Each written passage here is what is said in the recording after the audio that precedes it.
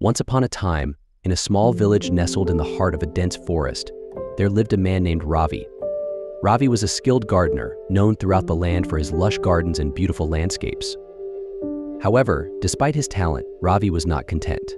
He was always rushing from one project to the next, never taking the time to appreciate the beauty he had created. One day, while tending to a client's garden, Ravi met a wise old monk named Hana. The monk noticed Ravi's hurried pace and stressed demeanor and suggested that he try being more mindful in his work. Ravi was skeptical but decided to give it a try. The next day, Ravi began his work in the garden with a newfound sense of awareness. He took his time, noticing the way the sun filtered through the leaves, the sound of the birds singing, and the feel of the soil beneath his fingers. As he worked, he found himself becoming more and more present in the moment, and his stress began to melt away. Over the next few weeks, Ravi continued to practice mindfulness in his work. He found that by slowing down and being present, he was able to appreciate the beauty of his creations in a way he never had before.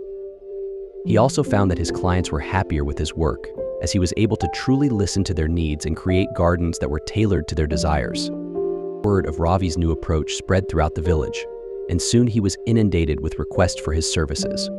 People were drawn to the peaceful energy he brought to his work, and they appreciated the attention to detail that came from his mindful approach. As Ravi's business grew, he began to teach other gardeners in the village the art of mindfulness. He showed them how to slow down, to truly see and appreciate the beauty of their work, and to connect with their clients in a deeper way.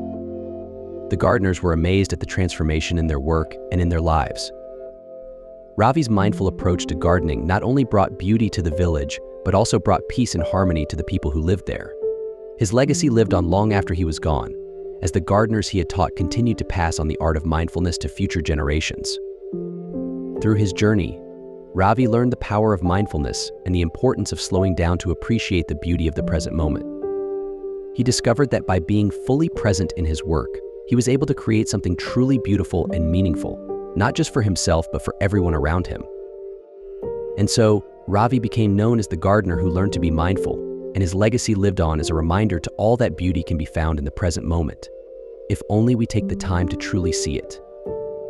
This story is a reminder that taking the time to be present and mindful in our work can lead to greater creativity, productivity, productivity, and fulfillment. By slowing down and truly seeing the beauty in front of us, we can create something truly meaningful and impactful, not just for ourselves, but for those around us. Ravi's journey also highlights the importance of teaching and sharing our knowledge with others. By passing on the art of mindfulness to future generations, Ravi's legacy lived on and continued to bring peace and harmony to those who learned from him.